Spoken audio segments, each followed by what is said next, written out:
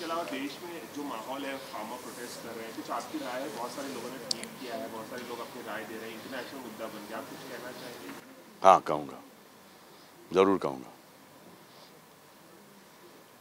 Of course sir 2020 में big boss भी launch हुआ। क्या करेंगे इस बार की सीज़न का किस तरह से So the right thing, the right thing should be done. Right thing should be done. The most correct thing should be done.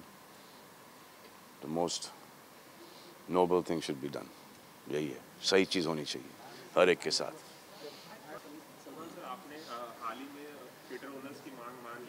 ये लोग कहाँ जा रहे हो जी हाँ बस।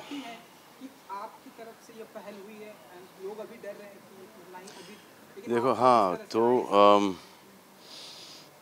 अब हमारी तो तीन पिक्चर रेडी बनकर बैठी हैं तो अम, हाँ सिंगल स्क्रीन्स की का बहुत मुश्किल ये है कि वैसे बहुत कम पिक्चरें चलती हैं सिंगल स्क्रीन्स के अंदर। तो अ, और जो थिएटर ओनर्स हैं वो खुद मालिक हैं। अब वो ऐसा लग रहा है कि वो एक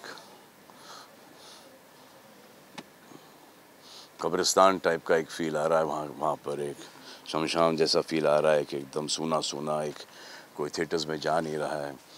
और ऑब्वियसली जो अब जिनके थिएटर्स हैं वो तो चलाएँगे चलाएँगे और काफ़ी सारे ऐसे थिएटर्स फाइनेंशियल रीजंस की वजह से बंद हो चुके हैं।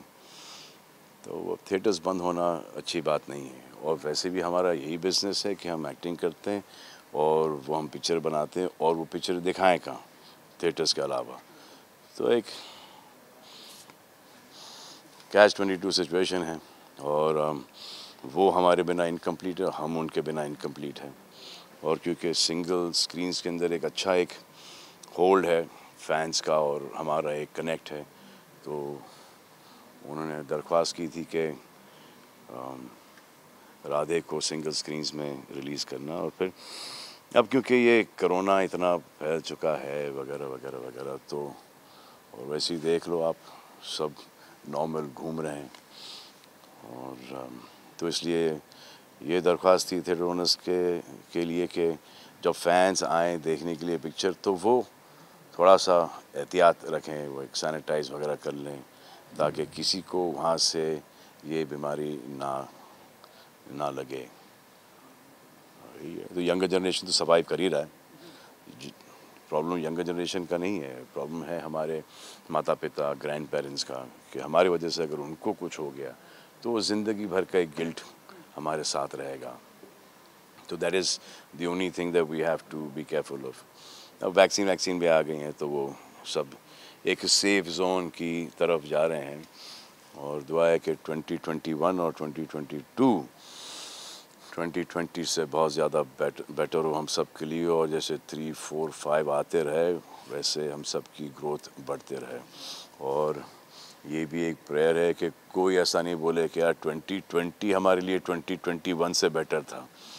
तो वो तो एक that's not cool at all visual